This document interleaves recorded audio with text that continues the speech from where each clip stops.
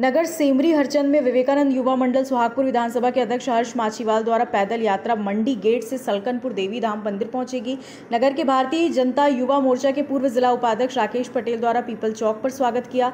वरिष्ठ भाजपा नेता छन्नू लाल साहू, वरिष्ठ समाज सेवी उमेश मित्तल, प्रांशु गोस्वामी, सतपाल सिंह राजपूत, नेहाल पांडे आदि ने स्वागत किया। हर्ष माछीवाल का नगर में जगह जगह स्वागत हुआ। ये यात्रा विवेकानंद युवा मंडल के अध्यक्ष भारतीय जनता पार्टी के जिला महामंत्री प्रसन्न हरणे की नर्मदापुरम से उपस्थित होकर यात्रा को संपन्न संपन्न करेंगे।